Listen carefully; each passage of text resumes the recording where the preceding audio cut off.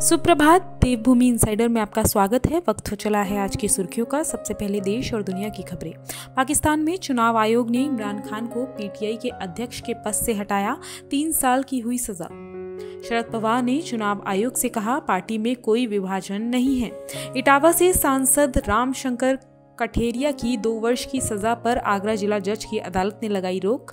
टुकड़े टुकड़े गैंग के साथ खड़ी है कांग्रेस केंद्रीय मंत्री अनुराग ठाकुर। गुजरात में मानसून सत्र 13 सितंबर से होगा शुरू। पहली बार डिजिटल विधानसभा पर रहेगा ज़ोर। अब खबरें उत्तराखंड से।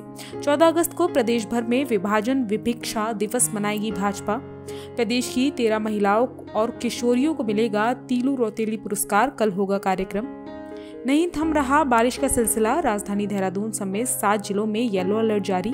आड़त बाज़ार शिफ्टिंग के लिए जिलाधिकारी ने दिए निर्देश। जल्द शुरू होगा कार्य। अंकिता हत्याकांड में मुख्य आरोपी पुलकित आर्या को पौड़ी से चमोली जेल किया गया शिफ्ट। तो ये थी आज की सुर्खियाँ। कल फिर मिलेंगे नई सुर्खियों के साथ। तब तक के लिए देखते रहिए देवभूमि इनसाइडर। जय हिंद।